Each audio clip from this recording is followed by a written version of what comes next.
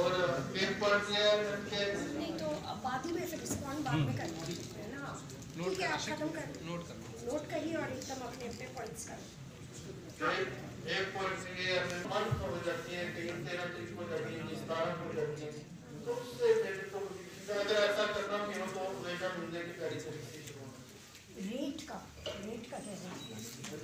Rate तारीख से हमारे पाँच से ही लागू हो तो हमारे लिए ज़्यादा बेटर है। तो तीसरा, एक जीएसटी जो है, वो स्टेट के पास में आता है। आज की तारीख में यूनियन टेरिटरी जे एंड के में हमारे पास आता है। जो S C G S T है, वो सेंटर के पास में जाता है।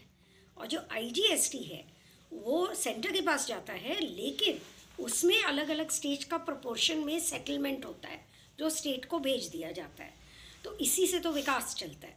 तो जो हमारा ग्रोथ है प्रोग्रेस है, सड़क है, बिजली है, पानी है, ये सब जो काम होता है तो टैक्स जब अच्छा टैक्स कलेक्शन होगा तो सभी का, सबके इंटरेस्ट में है। हम लोग यह मानते हैं कि टैक्स देना एक प्राइड होना चाहिए।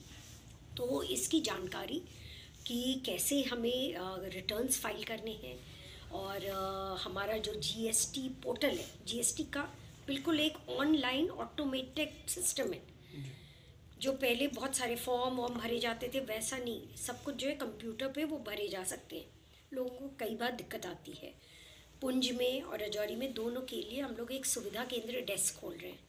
तो ये हमारे जो एस का ऑफ़िस है। पहले देखा जाता था कि एस का ऑफ़िस जो है, वो असेसमेंट कर रहा है। लेकिन हम लोग ये कह रहे हैं कि असेसमेंट के साथ साथ वो फैसिलिटेट भी कर रहा है कि आपको रिटर्न्स को भरने में कोई दिक्कत आ रही है तो आप हमारे एस ऑफ़िस जाएँगे।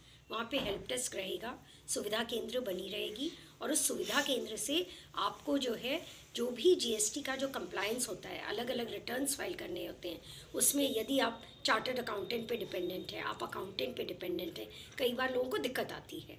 तो इस दिक्कत के लिए हम लोगों ने अपने ऑफ़िस में ही इस तरह का सुविधा केंद्र भी खोल दिया है। इसके बारे में भी जानकारी दी जा रही है। मैम जी एक चीज़ देखी जा रही है कि एक से पच्चीस देखिए, ये जो फैसला होता है रेट को लेकर के तो इस पे हर स्टेट जो है, वो एक जीएसटी काउंसिल का सदस्य है और वहाँ पर रेट में एक कमेटी भी है जिसको कि हम फिटमेंट कमेटी के नाम से जाना जाता है, जिसमें कि कुछ मेंबर सदस्य होते हैं, ठीक है? तो जब ही भी रेट को लेकर के चर्चा होती है कि टैक्स हम किस पे लगा रहे हैं और किस रेट पे लगा रहे हैं तो वो बहुत सोच विचार करके लाया जाता है।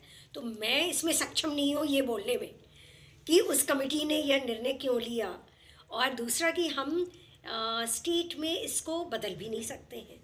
जीएसटी काउंसिल में जो फैसला होता है उसको हम अमल कराते हैं। तो इसमें बस है कि लोग इसको मतलब इसकी भावना को जितना ज़्यादा समझे ठीक है कि उनका भी एक रोल है कि वो भी अपना टैक्स कलेक्शन में एक देश